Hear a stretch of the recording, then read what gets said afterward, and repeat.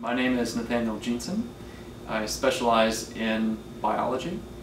Specifically, as an undergraduate, I majored in molecular biology and bioinformatics, which is a mouthful, but basically looking at DNA sequences in the lab and comparing them with computers, which is what I'm doing heavily now. In graduate school, did my PhD at Harvard.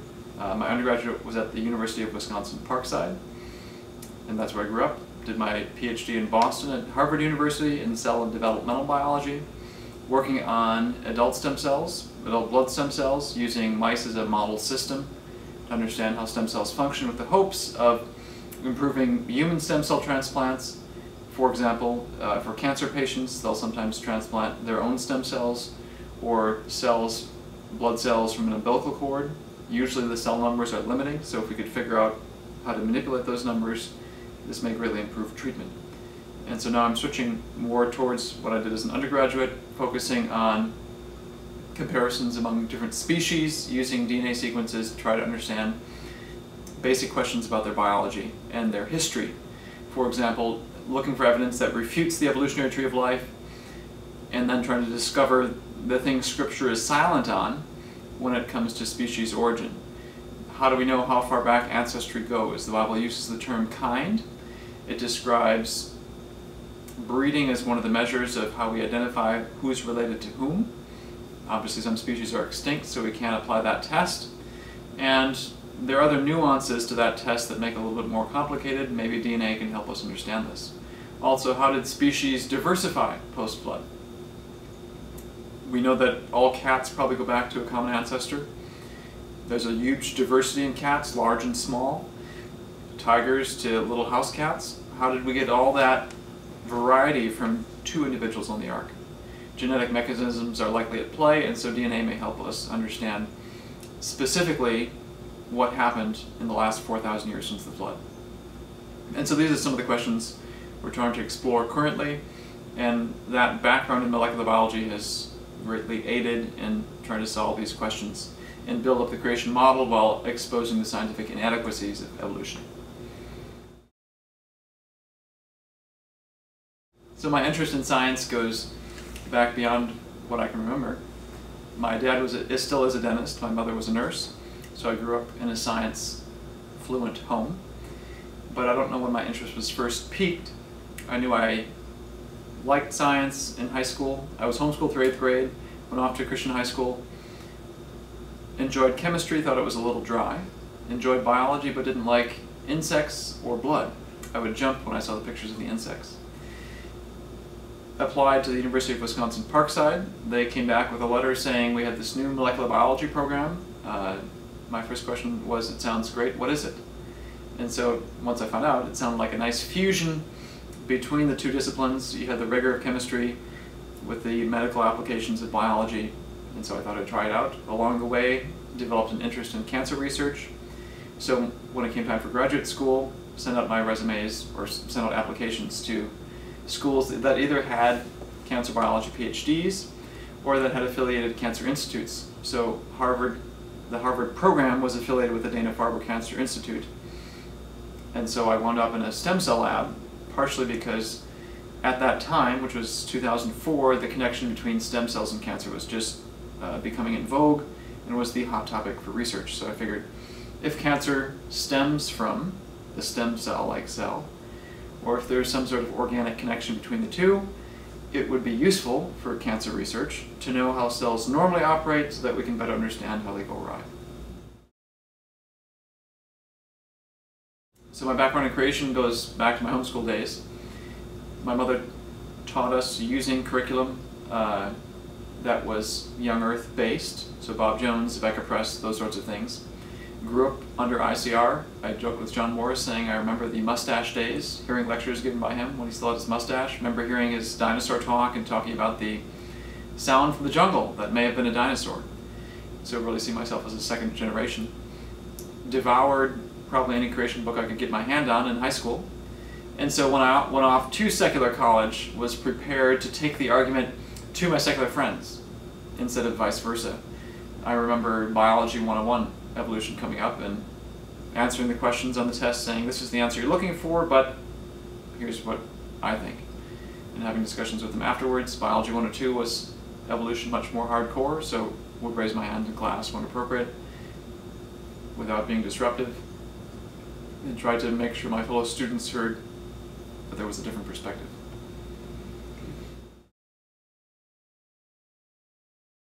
So if a high school student came to me who was interested in science, said, what school should I go to?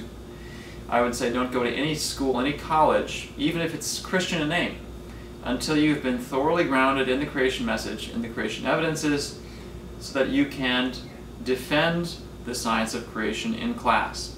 And I should add on top of that, you should be thoroughly grounded in the biblical basis for creation science because that's going to be attacked even more so in a Christian school. I see it as dangerous to go off to these schools or these experts, and they are experts, teach you in a very persuasive way the wrong thing. You have to be grounded in the truth before you go off and get an education. So it may require delaying school somewhat. Uh, in my case, I had the privilege of being homeschooled for through eighth grade, so I I have that background, went to worldview conferences, and then of course read a lot of these books in my own time, or maybe even as part of the curriculum, I don't remember exactly. So I had this grounding in creation science so that these, I knew what was coming. And if you don't know what was coming, it's going to hit you blindside and may persuade you the other way. And that would be a great tragedy because all that is false. The earth is not millions of years old. Evolution is not true, and this is not the biblical way to think about these issues. And it does enormous damage to the gospel to capitulate. So don't go anywhere until you've been grounded. Once you've been grounded, I almost find the secular university a more favorable setting for a believer than a than the Christian setting, with a few caveats. Now I commuted during my undergraduate days, so a lot of the debauchery that goes that takes place on secular campuses I was able to avoid. Same thing in graduate school, I either lived by myself or lived with other believers for my entire time, and I was able to avoid the rampant immorality and, and other typical sins that characterize university campuses these days. So I wouldn't advise living on campus or living with unbelievers because it, it really uh, it's such a drain on your on your Christian standards and you wouldn't want to be compromised and compromise your Christian, Christian witness because you fell into it. So you have to be grounded there as well. And I say university, secular university is better in some cases because there the difference between Christian and non-Christian is fairly black and white.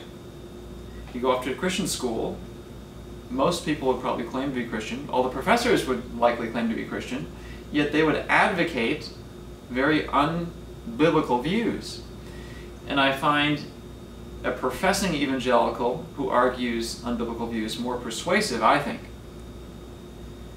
than an unbeliever. You know the unbeliever is going to obviously advocate unbelieving things or unbelieving the, the doctrine of an unbeliever. So you know what to expect. The Christian you expect to by by Scripture, so when it's someone who's claiming to be a Christian, advocating an unbiblical view, you can't dismiss it quite as quick. And that seems to be, that, that sort of slow erosion seems to do more damage than the frontal assault you'll get in a secular classroom, but which you'll be able to recognize as such immediately and not feel threatened by it. On the other hand, if you go off to secular campus, depending on where you go, the level of persecution may be higher. There are obviously some campuses these days where the professors seem to have as their goal deriding and making fun of believers and especially of creationists, and so they may deliberately try to flunk you. And that's something to keep in mind. And I can't name the schools that would do it and those that wouldn't, but that's obviously one risk you take. Risk only in the human sense, in the divine sense, God's providence rules all things, and there's nothing to fear once you've made the choice. Uh, I'm thinking strictly in terms of you, the student, what's most threatening to you, to me, my guess is, in terms of your own personal faith, a Christian environment may be more threatening if it's compromised than a non-Christian environment because you can see where the error is much more easily in the secular environment than in the Christian one. If someone came to me and said, I'm going off to college, what should I keep in mind? You've already made the decision, I'm going to go to this school or this school. I guess the words of wisdom for any of these students would be, your most important task in college is maintaining your relationship with the Lord and staying grounded in the scripture. So practicing all the things scripture strongly exhorts. You have to be in fellowship with other believers. It doesn't matter how grounded you are in creation. If you start drifting astray, and that's the point of the book of Hebrews, and beware lest you drift, you're headed for trouble regardless of your upbringing. So you have to be in fellowship, obviously, in the Word of God, obviously in prayer. Uh, and if you're in a secular environment or some environment where the persecution gets intense, that support network will play, and, you, will value that support network even more. So don't lose touch with that. Be aware of campus groups. Some of them, some of the popular ones, tend to be compromised on creation uh, because they try to maintain a non-denominational focus. So don't be surprised by that. Uh, and, and be aware that this is yet another way in which the doctrine of creation and the veracity of Scripture is being undermined by evangelicals coming and saying, well, you don't have to take that quite so seriously, or don't take such a strong stand on that issue. Those are subtle ways to undermine the authority of and integrity of the Scripture, which ultimately undermines your own faith and the faith of those around you. So those things have to be practiced. Do as much as you can, especially if you're in science, to keep up to date on the creation issues. Books are the best way to do this. Those are usually dated, and if you progress further in science, you're going to have to keep up with the peer-reviewed literature, and of course creationists have their own peer-reviewed journals. The three major ones these days are the Creation Research Society Quarterly, which is uh, by subscription, you have to pay for it. Journal of Creation is by subscription, though the articles come out for free after a year. And the Answers, Research Journal is free online. So there's a way to keep up to date on what's the answer to the latest evidence that has come out, or what's the latest positive creation evidence. And of course, once you've progressed far enough, you're going to be the one writing those articles. So constantly staying abreast of what the key issues are, what the key evidences are, what the key arguments are, is vital to having a su successful career as a creationist in science. Now for someone who says, uh, I'm interested in the origins issue, what should I do? There it gets a little sticky. Any program that is evolutionary biology focused, geology focused, anything dealing with an origins topic, evolution is going to be the major subject.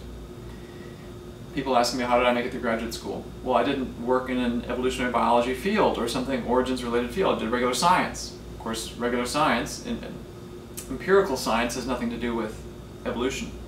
It doesn't depend on evolution, and it doesn't come up. But if you're going to focus on something that deals with the past, that's likely going to be more difficult.